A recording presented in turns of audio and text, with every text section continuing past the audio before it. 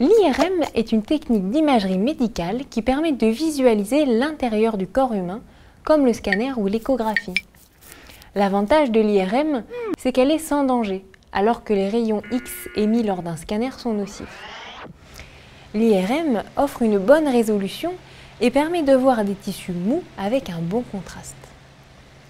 IRM signifie imagerie par résonance magnétique. C'est la résonance magnétique des noyaux atomiques ou RMN.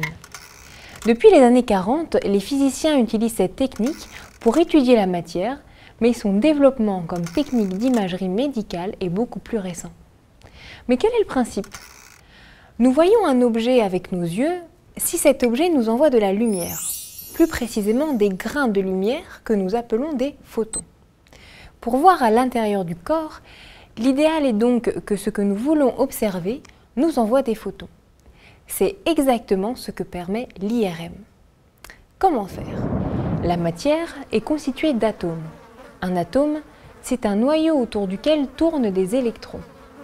Le noyau d'un atome est un objet complexe constitué de plusieurs particules et les noyaux de deux atomes différents peuvent avoir des propriétés très différentes. Ce qui nous intéresse ici, c'est la façon dont le noyau va réagir lorsqu'on le plonge dans un champ magnétique créé par un aimant. Pour certains noyaux atomiques, comme ceux du carbone ou de l'oxygène, ça ne change rien. Mais d'autres noyaux, comme celui de l'atome d'hydrogène, se colorent. C'est-à-dire que lorsqu'on les éclaire avec de la lumière blanche, ils ne renvoient qu'une seule couleur.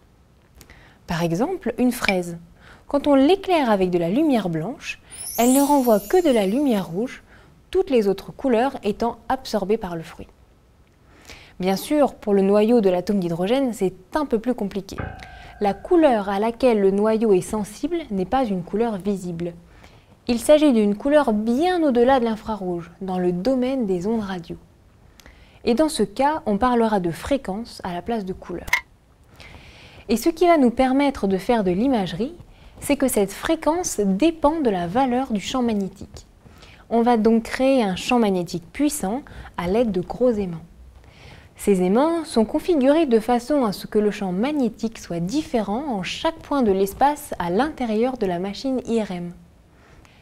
Imaginez maintenant que chaque atome d'hydrogène de notre corps, et il y en a un peu partout, dans l'eau et dans les tissus organiques, soit sensible à une couleur qui dépend de l'endroit où l'atome se trouve. Éclairons maintenant tout le corps avec de la lumière blanche. Chaque atome va renvoyer des photons c'est ce qui va nous permettre de voir littéralement les atomes situés à l'intérieur de notre corps.